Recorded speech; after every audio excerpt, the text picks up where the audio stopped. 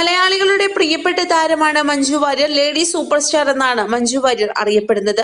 മഞ്ജു വാര്യരുടെ തമിഴ് അരങ്ങേറ്റ ചിത്രം എന്ന നിലയിൽ മലയാളി പ്രേക്ഷകർക്കിടയിൽ പ്രത്യേക ശ്രദ്ധ നേടിയ ചിത്രമാണ് അസുരൻ. തമിഴിലെ പ്രമുഖ എഴുത്തുകാരൻ പൂമണിയുടെ വെക്കൈ എന്ന നോവലിന്റെ ചലച്ചിത്ര ആവിഷ്കാരമാണ് ഈ ചിത്രം. അഭിരാമി കെൻ കരുണ ശ്രീജയ അരുണാചലം പ്രകാശ് രാജ് പശുപതി നരയൻ ബാലാജി ശക്തിവേൽ സുബ്രഹ്മണ്യ ശിവ പവൻ എന്നിവരാണ് മറ്റ് കഥാപാത്രങ്ങളെ അവതരിപ്പിച്ചിരിക്കുന്നത്. വി ക്രിയേഷൻസിന്റെ ബാനറിൽ കലൈപ്പൊലി എസ് താണുവാണ് ചിത്രം നിർമ്മിച്ചത്.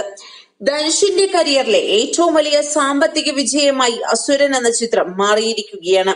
വടച്ചെന്നൈക്ക് ശേഷം വെട്ടിരിമാരന്റെ സംവിധാനത്തിൽ ധനുഷ് നായകനായ ചിത്രം ആകെ വരുമാനത്തിൽ നൂറ് കോടി പിന്നിട്ടിരിക്കുകയാണ്. എന്നാൽ തിയേറ്റർ കളക്ഷൻ മാത്രമല്ല ഇത്.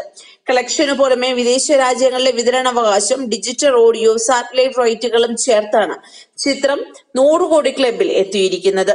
ഒക്ടോബർ നാലിന് തിയേറ്ററുകളിലേക്ക് എത്തിയ ചിത്രം ആദ്യ പത്ത് ദിവസം നേടിയ തിയേറ്റർ കളക്ഷൻ അൻപത് കോടി കഴിയും. റിലീസ് ചെയ്ത എല്ലാ കേന്ദ്രങ്ങളിലും രണ്ടാം വാരത്തിലും പ്രേക്ഷക പ്രീതി നേടി മുന്നേറുകയാണ് ഈ ചിത്രം. ചെന്നൈ ബോക്സ് ഓഫീസിൽ ചിത്രം ഒന്നാം സ്ഥാനത്താണ്. മറ്റു തമിഴ് ഹിന്ദി ചിത്രങ്ങളെ പിന്നിലാക്കി ഹോളിവുഡ് ചിത്രം ജോക്കറാണ് ചെന്നൈയിൽ ഇപ്പോൾ രണ്ടാം സ്ഥാനത്ത് ഓടുന്നത്. അതേസമയം ചെന്നൈയിൽ എം ബി ബി എസ് പഠിക്കുന്ന മീനാക്ഷി അമ്മ അഭിനയിച്ച ആദ്യ തമിഴ് ചിത്രമായ അസുരൻ കാണുന്നതിന് വേണ്ടി തിയേറ്ററിൽ എത്തിയിരുന്നു ചിത്രം കണ്ട് പുറത്തേക്കിറങ്ങിയ മീനാക്ഷിയെ കണ്ട് മാധ്യമ പ്രവർത്തകർ ഓടിക്കൂടി. അപ്പോൾ മീനാക്ഷിയോട് ഒരു മാധ്യമ പ്രവർത്തകൻ ചോദ്യവും ചോദിച്ചു. എങ്ങനെയുണ്ടായിരുന്നു മീനാക്ഷി അമ്മയുടെ ചിത്രമെന്ന്?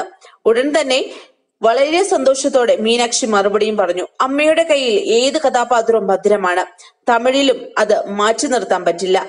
അമ്മ തെരഞ്ഞെടുത്ത കഥാപാത്രങ്ങളൊന്നും ഇതുവരെ മോശമായിട്ടില്ല. വലിയ അരങ്ങേറ്റമാണ് അമ്മ തമിഴിൽ നടത്തിയിരിക്കുന്നത്.